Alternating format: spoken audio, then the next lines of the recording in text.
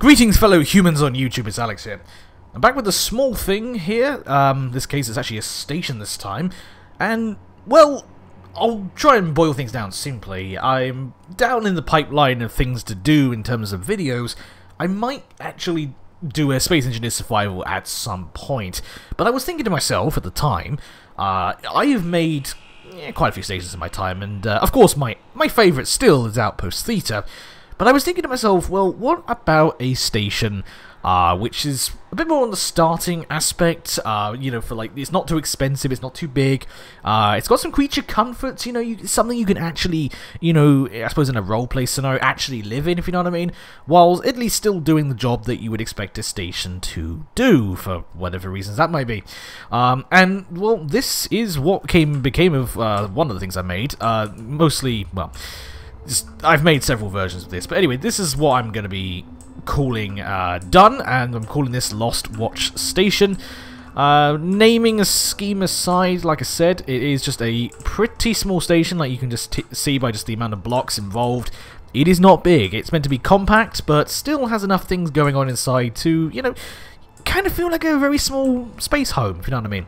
Uh, and that's kind of it. It's not too, it's not too, you know, much else to say really. It's a, it's a small, compact little station, uh, and would, you know, like I said, be very good for you know, you're starting out of survival, and you wanted to start with something, uh, you know, okay, you're not doing bare metal survival, you know, with just a survival kit. This is something where this could almost be classified as an, e an uh, one of the easy starts, if you know what I mean. The only thing this thing obviously doesn't have out of the box is any kind of mining ships, but then you can sort of place yourself next to an asteroid and yeah, ignore some of the extra things I got going on in the background there. Um, but yeah, so that's kind of it. Let's just get inside and show you what's going on here. Like I said, pretty small, very compact. Uh, also, no mods other than deflector shields. Uh, just make that spell that out there. Of course, there's DLC use, but that's kind of to be expected. But shields, shields are good on so many things, and deflector shields in this case stick the flipping, you know, generator on the bottom, and there you go. The shields are more, more or less there for, you know, asteroid defense or maybe the odd pirate assailant, that kind of thing. Same with turrets, there's not very many of those um, going on anyway. So anyway, the entrance hall, which is essentially this small room here, like I said, everything is pretty small and compact, but you could tell that from the outside. But this is more of just a small control area, um, a couple little freight, um, freight containers, a little lab thing there, and batteries in the ceiling of this little module uh, with the armory here, and windows. There's a lot of windows uh, in this particular uh, station. I made that kind of a priority in some respects, just to have a nice sort of open feel to things. Uh, using some neon tubes for these hallways, I, I don't use these often enough, and I did in this case. You'll also notice the this interesting window design that I kind of ended up going with.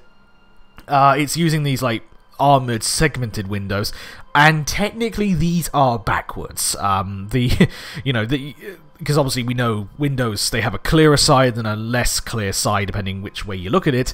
These are technically backwards, but nevertheless they kind of fit in well in terms of the physical appearance anyway.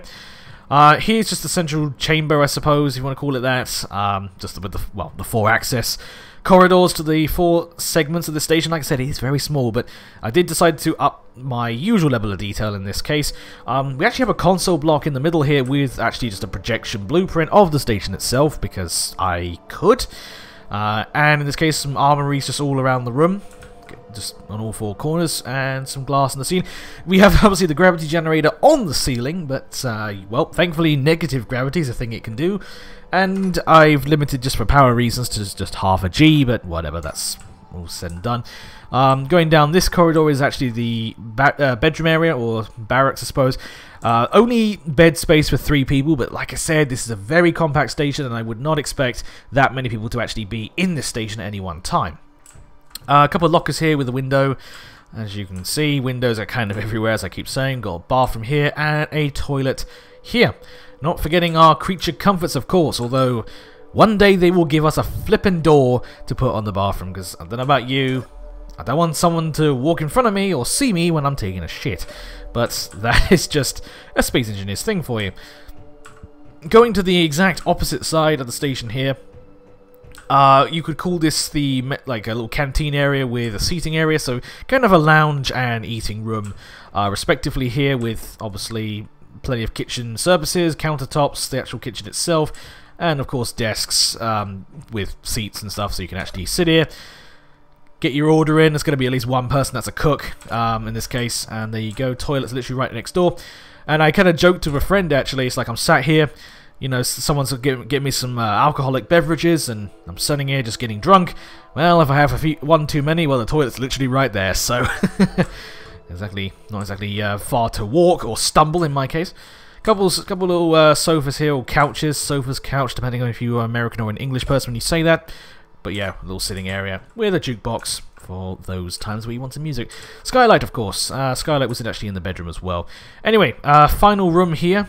Uh, this is basically the engineering section. This is pretty much where a lot of your work would be done.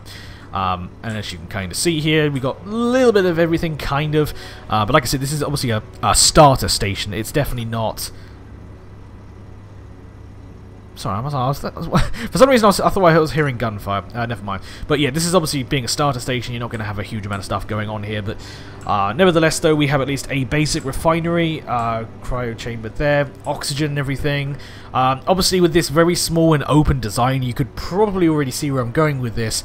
Um, this entire station is essentially one big room, and if there's a hull breach anywhere, well, you're going to lose air throughout the entire station, but, well, because of how small and thin this actual station is, there was no real room to add any kind of conveyors to add separate, you know, air pipes, and obviously then have doors, respectively, to keep the area separated, at least not without ruining the look, in my opinion. So, yeah, we just have this one vent that supplies the station, but that's just what we're going with here. Um, armory and locker sort of wall on this side. There's some cargo containers there. Survival kit. Uh, I think I told you guys before, but using survival kits a lot more than I am medical stations, where I need a a smaller spawn point slash a smaller, uh, you know, medical facility. So that's that.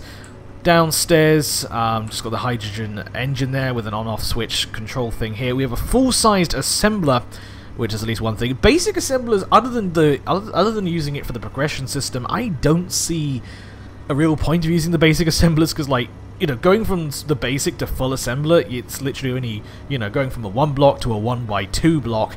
It's, it's like it's so easy to fit a one by two block. Like I said, I got like a basic refinery um, up here, and I probably could add a second one, but I did not in this instance. Uh, and down here, remote control block if you're going to control this station remotely, though the irony of that is I don't actually have an antenna on here yet.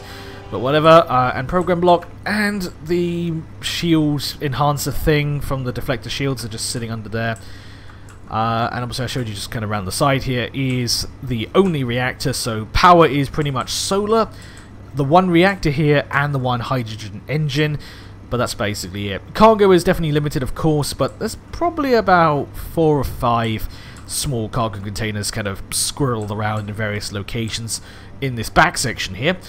But that is about it for this um, this the Lost Watch station. It is, like I said, it's very small, very compact, and like I said, for a starter station, if you don't want to start with a bare metal, you know, survival with just that survival kit, um, and that's it, then this is kind of the station that I sort of ended up building. Um, like I said, maybe not to everyone's taste, but it was something that I kind of liked how it turned out. Like I said, I build so many things. Sometimes I build something and it's just like, I don't like how this is going, and I might either modify it or scrap it and start again. This was something I built, and I just like how it turned out, and that's pretty much that. Um, this is on the workshop, link to which is in the description, as most links are uh, in this case. And yeah, so let me know what you think of this uh, station down below in the comments. Link to my Discord, it's also in the uh, description as always. And you know the drill by now. So thank you for watching, and I'll see you all in the next video.